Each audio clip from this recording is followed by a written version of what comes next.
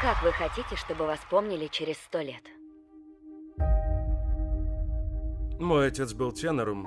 Мы всегда следуем за родителями, так что я стал маленьким тенором.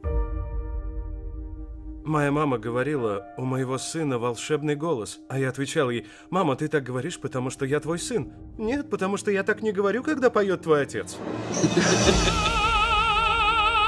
Голос Лучано был великолепен. Он лишь открывал рот, и все казалось просто. Он чертовски нервничал перед каждым выступлением. Я иду умирать. Всегда уверены, что возьмете ноту? Нет, в этом и прелесть моей профессии.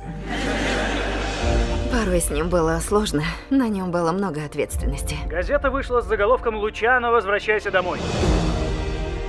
Поворотти пленил собой сотни тысяч людей. Он стал поистине всемирной рок-звездой. Мистер Поворотти, в поездках вы предпочитаете снимать номер с кухни, верно?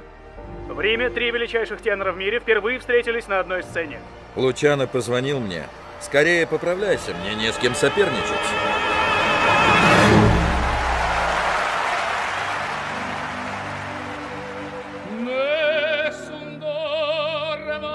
Он вел одинокую жизнь.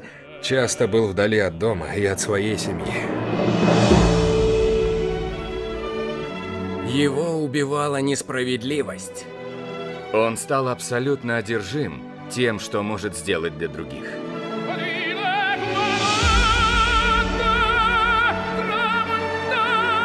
Я научился любить людей, так что... Вы доверчивый человек? Вы шутите?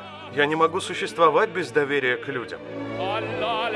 Причина его величия в том, что он проживал свои песни. Все его ошибки, стремления и надежды. Всем этим преисполнено его пение. Лучано единственный и неповторимый. Поворотти. В кинотеатрах с 25 июля.